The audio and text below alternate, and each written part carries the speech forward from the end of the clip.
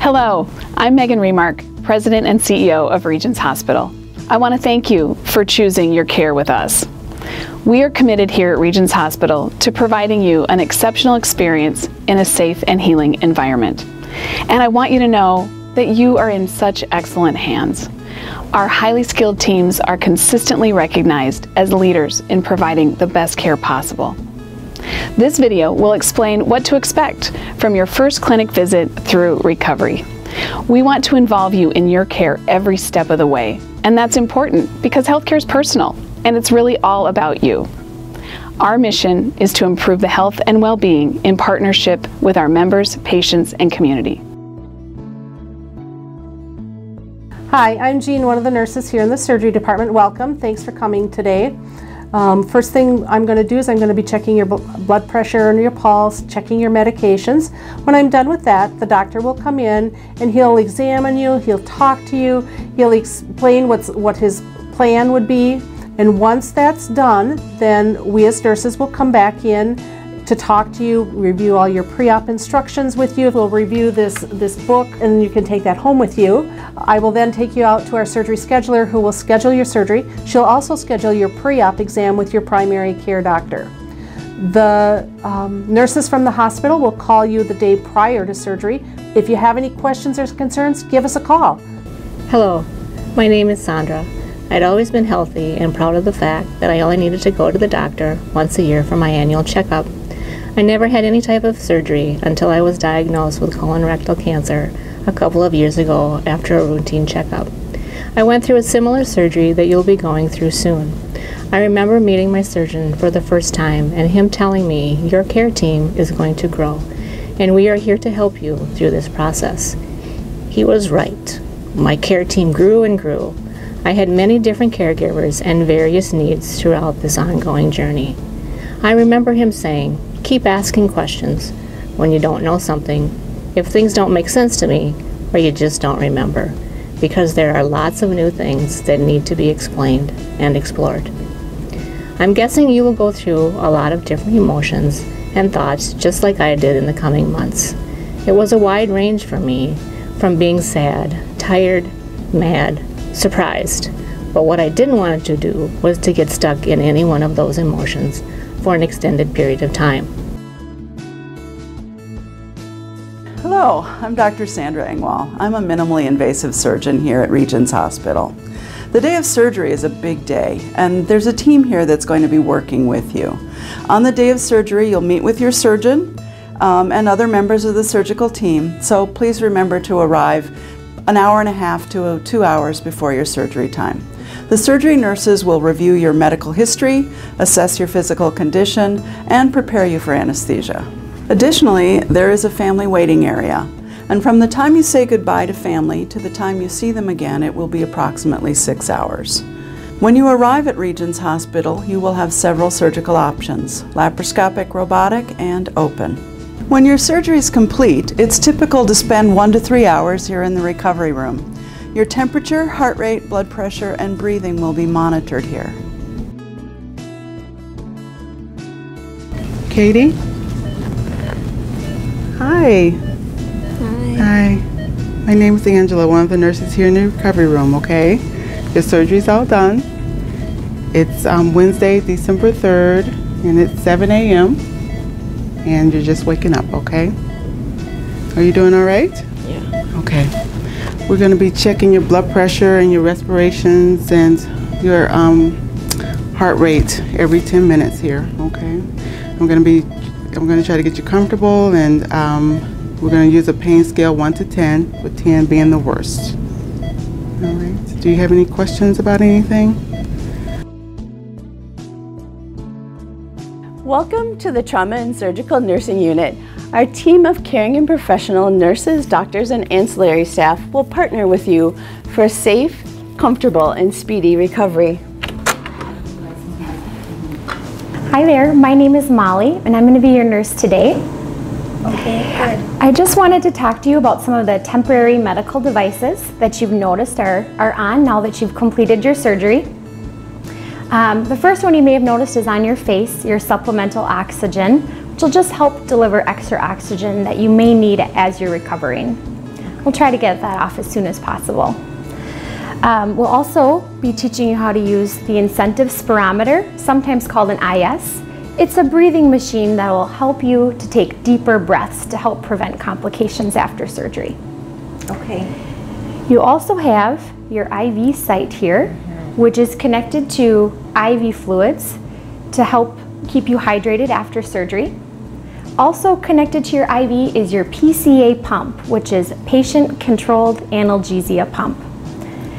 And that's what that button is connected to. So if your surgeon prescribes this pump for you. Um, the nurse will set up the parameters on the pump for safety and you'll be allowed to push the button usually around every 10 minutes. Um, we want you to be the only person who pushes that pump. Okay. Okay? Uh, your comfort's very important to us, so let us know if you're getting adequate pain medication. On your legs here are the SCDs or sequential compression devices. And you may notice those will be squeezing on and off to help prevent blood clots while you're resting in bed. Over here is your urine catheter, which is helping to drain urine from your bladder. As um, you progress, we'll try to get you off of the IV pain medication and onto oral or tablet pain medication. Your comfort is very important to us because we'll want you to get up and get moving as soon as possible on the day of your surgery. Hello, I'm Dr. Ryan Carlson. I'm the minimally invasive colon and rectal surgeon at Regions Hospital. Postoperative day one, your operation is done and the first night is behind you. Your surgeon's work is mostly done and now your hard work is about to begin. It's time to recover. And nurses at Regions Hospital will tell you that means it's time to get moving. The days are gone when you're expected to lie in bed for a week after colon surgery countless scientific papers and my own experience has clearly shown that walking four times a day leads to a faster, safer recovery after colon surgery. Walking means getting up out of bed and taking one or more laps in the hallway. Walking does amazing things for you after surgery. We know it's not easy, but walking will speed up the recovery of your intestines so you can start eating again. Walking will help keep your lungs open and free of fluid so that you don't come down with pneumonia. Walking will help avoid blood clots. Walking, believe it or not, helps decrease your pain. Yes, walking makes you sore. It may even hurt a bit to walk. But nurses at Regions Hospital will tell you that people who take charge of their own recovery and start walking early and often recover much faster. Diet, or what can I eat, is on everyone's mind after colon surgery. At Regions Hospital, we believe that getting back to a normal diet as soon as possible is very important, but it's also important to listen to your body after surgery. We start most patients on clear liquid plus toast diet after colorectal surgery. Clear liquid means things like juices, Gatorade, coffee, tea, water, popsicles, and even jello. On day two, most people are advanced to a regular diet. That means eating whatever sounds good to you. But listen to your body. Go slow. Eat less than a third of what you normally would eat. And if you feel nauseated or bloated, stop. Take a break and reassess how you're feeling in a few hours. If your doctors or nurses see that your belly is swelling up or that you're experiencing nausea or excessive belching, they may pause your diet until your intestines resume their normal function. Going home.